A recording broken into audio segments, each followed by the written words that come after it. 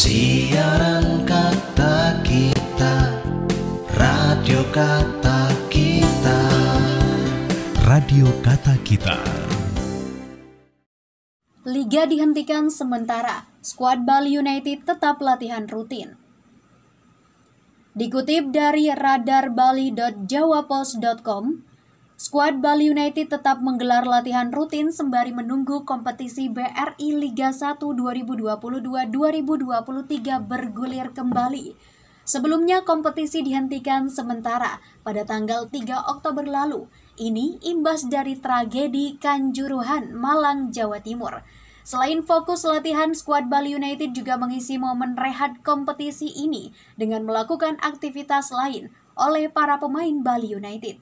Seperti yang dilakukan oleh bek tengah Bali United, Gunawan Dwi Cahyo.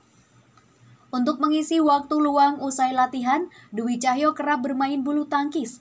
Selain untuk kebugaran, hal itu dilakukannya untuk mengusir kejenuhan sembari menunggu kompetisi dimulai lagi.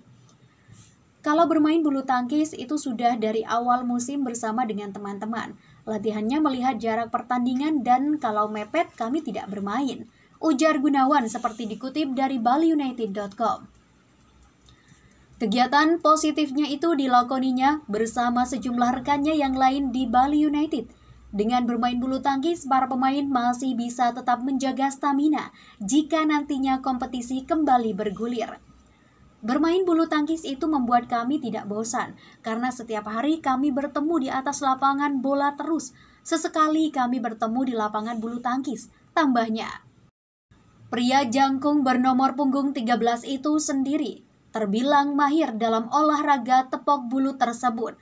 Baginya selain menjaga kebugaran, bulu tangkis juga mengajarkan banyak hal positif untuk kesehatan mental. Bahkan dia menyebut jika lawan terberat dalam olahraga bulu tangkis adalah diri sendiri. Siaran kata kita Radio kata Radio Kata Kita.